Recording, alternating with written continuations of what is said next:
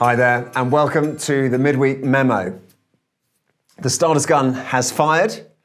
It's the 1st of December, and Advent is here. That means it's the moment where we officially go from discussing whether Christmas has started to actually starting Christmas. Well, sort of. I wonder how your Christmas has started. Have you remembered to open the first of the doors on your Advent calendar? Uh, if you have, why don't you share with us down below somewhere in the comments what kind of advent calendar you've got? Is it Cadbury's? Is it Star Wars? What kind of theme? We'd love to know.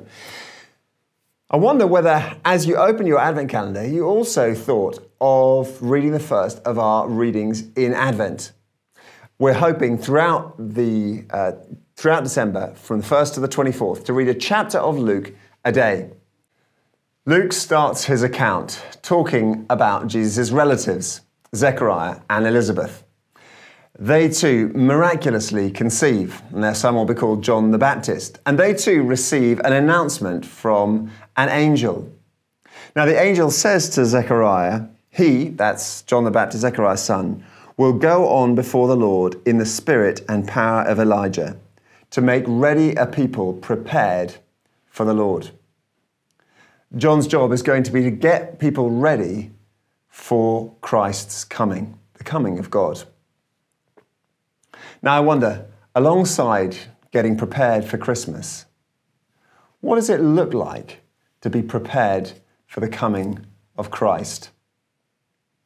Well, that's what Christians have thought about each year for a very long time in this period of Advent. Advent comes from the Latin word advenire, which means to come.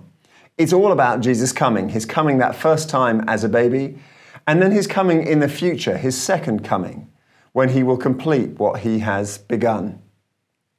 And actually, thinking about Advent in those terms helps us prepare for Christmas in just the right way, too. We too are called to prepare our hearts for Christ.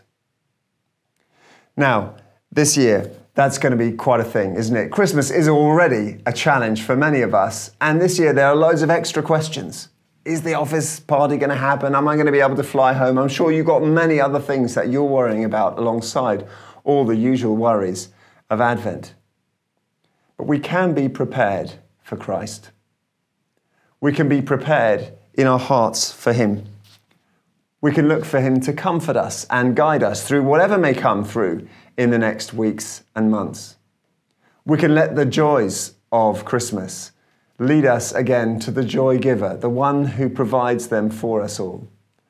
And we can let also the struggles, because there will be many, the struggles, help us hope and trust in the one who one day will return and will restore this world perfectly as it is meant to be.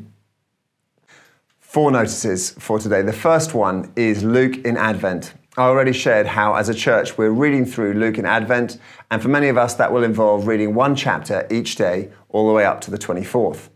If you'd like to hear Luke read, we've got an opportunity to do that on a Zoom call each Thursday evening at 9 pm, where all the chapters from that week will be read. Come and join us and perhaps light a candle, uh, put that on your Zoom profile there, and we'll be joined to get, joining together hearing God's word. The second thing to, to tell you about is our carol services, our Christmas and carol services.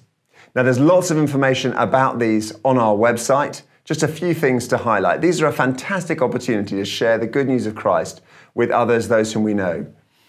Our carol services by candlelight, carols by candlelight, and our Christmas Eve services are all going to be sign up required this year. Now, the sign up for that begins tomorrow, Thursday, at 5 pm. You'll find a link to that on our website. The third thing to tell you about is our Christmas market community event. That's happening on the 5th of December, this Sunday. It's going to be happening from 11:30 in the morning until 3 p.m. in the afternoon. It's a fantastic thing to come together as a community. Too, there's going to be things to buy, uh, there's going to be uh, uh things to do, and there's going to be things to see as well fantastic thing to come and join us with. And then, fourthly, just to give you a quick update on where we are with COVID.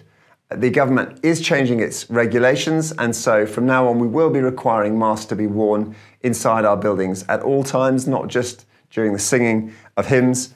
And of course, we're going to be thinking and listening carefully to whatever developments come our way, and we may be making adjustments in our program in sympathy with those. We'll keep you updated.